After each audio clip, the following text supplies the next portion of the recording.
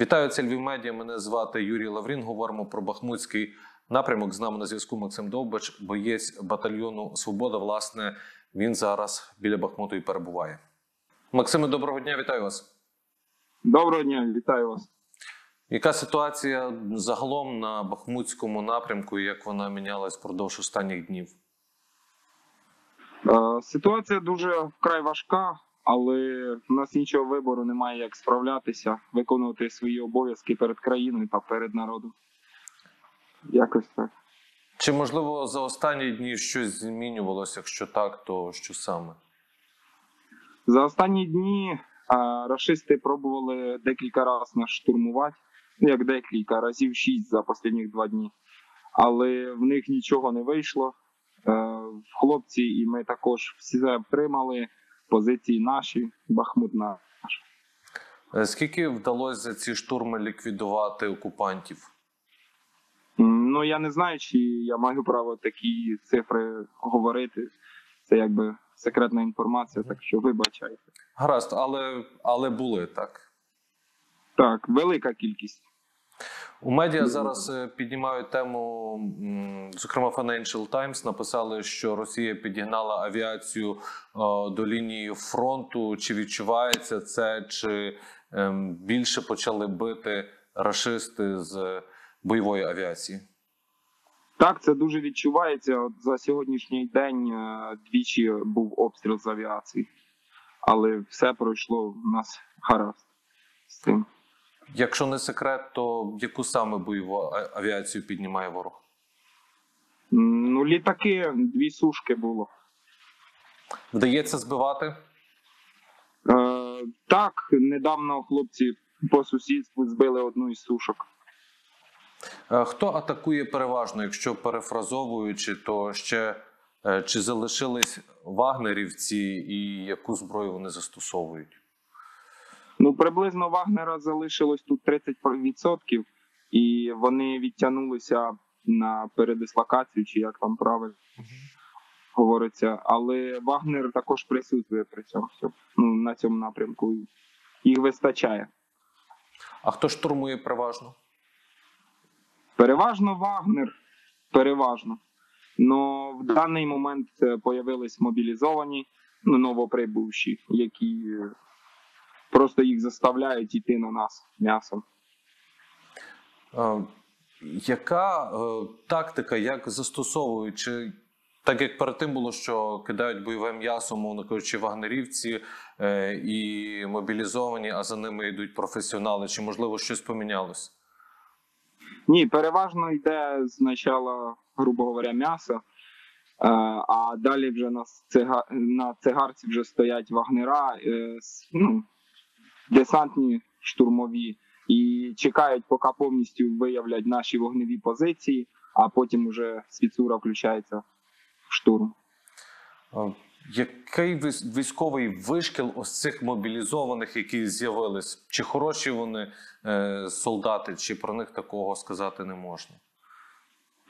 Ну, те, що вони хороші, я б не сказав так. Ну там є також професіонали. Дуже велика кількість також є снайперів е, професіональних і так далі. Артилерії, артилеристи теж дуже ну, досвідчені люди. Ну там не дурні люди також. Але здебільшого низький рівень підготовки, так?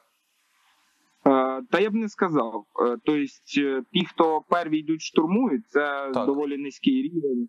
Е, Навіть деяких зустрічали без е, бронежилетів, без касок і йшли. Ну, їх видно заставляли. А далі там уже куча і освічених і доволі професійних військових.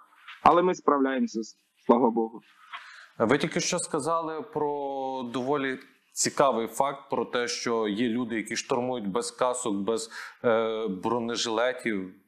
Чи це багато таких випадків? Взагалі, чому так відбувається? Е, Відбувається та, е, таким чином, що напевно в них бронежилетів на всіх не вистачає, а штурмувати їм треба постійно. І через то е, зустрічали полоненого, який розповідав просто, що йому сказали, що е, достань в бою собі бронежилет. Ну, тобто, на всіх не, не вистачає. На таку велику кількість е, солдатів не вистачає просто е, ну, амуніції. Е, Максиме, хотів би вас запитати щодо ось цього полоненого. Е, Так про що він ще казав, можливо? Та більшість там інформації йде засекреченою, тобто я не можу вам її розповідати. Він Але він доволі полон. Це вагнерівець був чи мобілізований? Е, е, Вагнер. Вагнер. Сподіваюсь, так що замість нього ми зможемо витягнути наших героїв, які є в е, полоні. Як відбуваються штурми на Бахмутському напрямку зараз переважно? Чи це поодинокі такі штурми, чи вони іноді йдуть великою лінією фронту, про що ваші побратими казали десь, якщо не помиляюсь, два тижні тому? Здебільшого вони йдуть, е, стараються велику кількість території охопити і на великій кількості території зразу йти. Тобто, щоб ми не могли зосередоточити на одному напрямку і воювати з ними, щоб нам важче було, вони роз- розсередоточуються чим побільше. Найбільше, що я бачив, це 7 кілометрів одразу пробували взяти. Вони Коли ну, це напрямку. Коли це було? Коли такий був штурм е, масований? Десь ну дня 4 тому. Е, Чи є відчуття, що до 24 лютого, до річниці повномасштабного е, вторгнення, вони планують якісь особливо великі штурми заподіяти на Бахмутському напрямку? Я думаю, ні. Ну, це моя лічна думка. Я думаю, ні. І чи, Нічого вда... вони не і, чи... і чи вдається контратакувати, чи проводити контрнаступи по декуди на напрямку Бахмуту?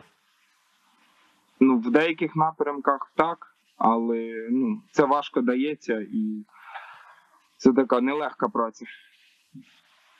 Які зараз загалом умови погодні в Бахмуті? З чим стикається, з чим доводиться боротись, власне, окрім е, ворога? Ну, є проблеми з холодом, але це ж теж теж справляємося якось. Головне в нашому напрямку це ворог, а там же ми розберемося з хлопцями, як зігрітися і як попити теплого чаю. Ну, напевно, не сам кінець, чого поки що найбільше не вистачає конкретно е, вашому батальйону, конкретно на е, цьому напрямку. Я б е, думаю, що дронів. Дро... Артилерії трішки, і я б ставив ставку буду ще на дрони, тому що краще втратити там дрон, чим людину. Максим, я дуже дякую вам за розмову. Я дуже дякую, що ви захищаєте нашу державу. Бережіть себе, бережіть побратимів. Ми вас чекаємо. Дякую навзаєм. Про ситуацію біля Бахмуту говорили з Максимом Довбишем, бійцем батальйону Свободу, який власне перебуває біля Бахмута. Дивіться Львів медіа, підписуйтесь, коментуйте та ставте лайки. Побачимось.